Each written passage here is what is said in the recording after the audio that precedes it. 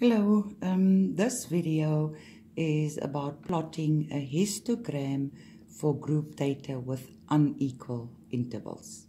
Okay, in this example, they are talking about 500 eggs um, with different masses, okay, and they were then grouped into five groups, which is small, medium, standard, large, extra large. Okay, the mass of a small is from 35 to 40 gram. The mass of a medium egg is from 40 to 50 gram. So now immediately you should see that this class interval is 5 and this class interval is 10, which means it is unequal intervals. Okay, now remember, when we have unequal intervals, we then plot towards or over your frequency density. Okay, no more your frequency. And the frequency density we calculate by dividing frequency with the class width. Okay, so they're giving you the frequency. Now, obviously, we must still get the frequency density. Okay, so firstly, determine your class width for each group. Okay, this is 10. Then from 50 to 60 is 10. From 60 to 75 is 15 and so forth. Then you calculate your frequency density. 20, your frequency, divide by your class width, which gives you 4. Or 60 divide by 10, which gives me 6 and so forth.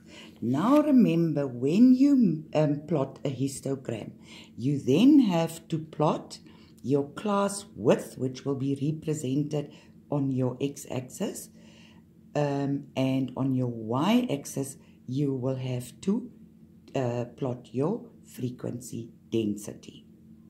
But this video is going to concentrate on the following, and that is your scales.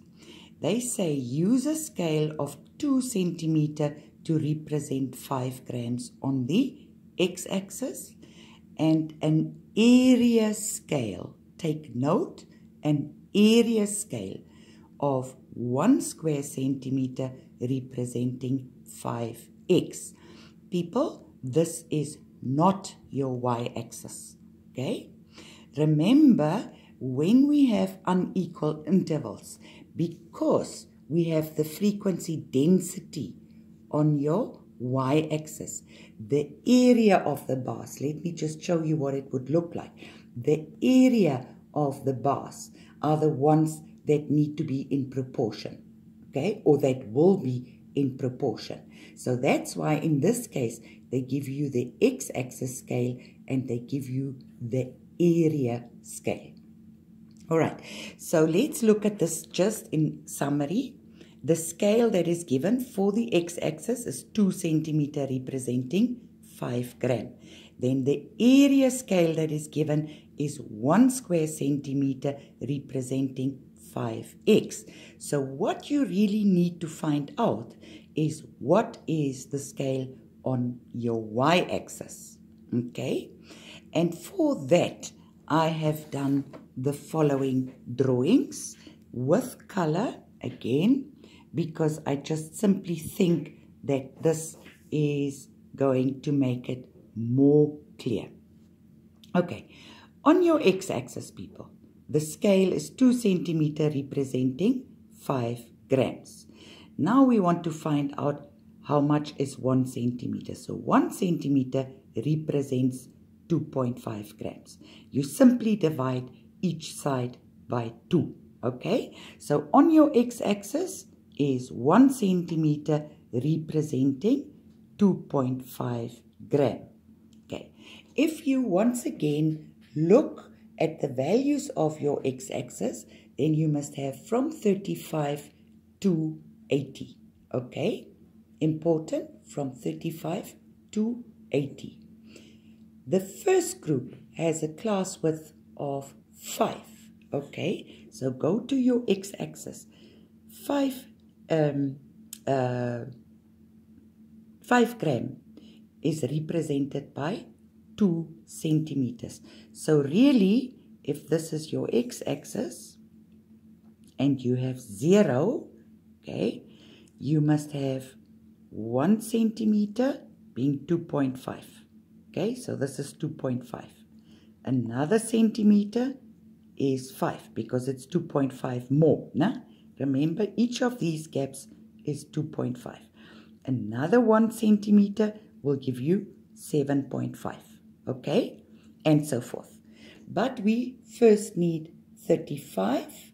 So therefore, we are going to have what we call the sort of heartbeat sign. Okay, and then we are going to start with 35. All right. Now, the x-axis is not really a problem, people. I always suggest that if it is not given in a one centimeter scale, then work it out for a one centimeter scale. Okay? And then on your x-axis, mark each centimeter. Okay? And for each centimeter, you add 2.5. 2.5, 2.5, 2.5. Okay? That's your x-axis. All right. Now we need to find the y-axis scale, people. You don't have it. I emphasize we have an area scale. Okay?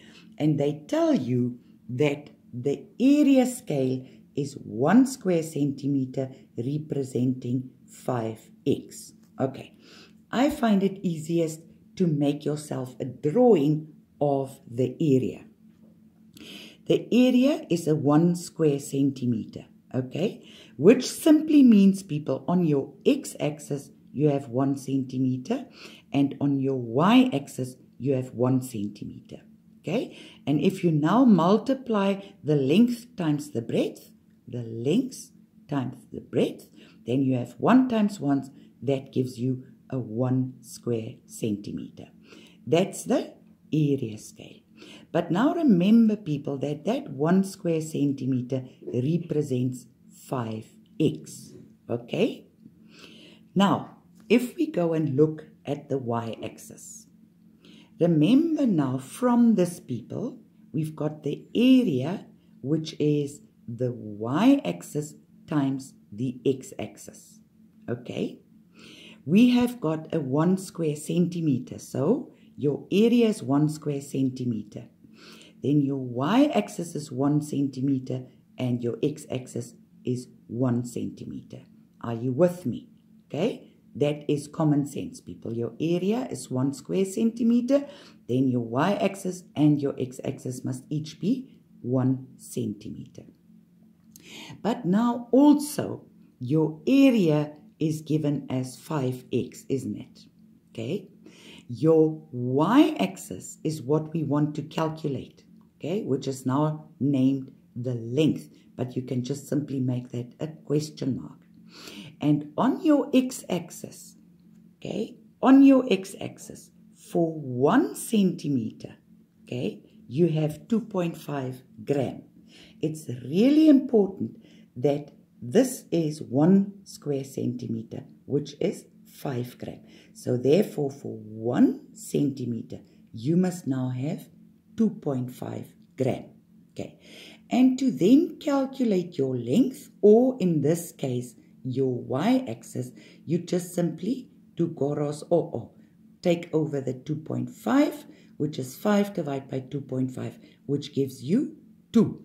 So on your y-axis, okay, each centimeter represents 2. Do you get it? On your y-axis, each centimeter represents 2. Okay? 1 centimeter represents 2. And remember, this 2 is the representation of your frequency density because it is your y-axis.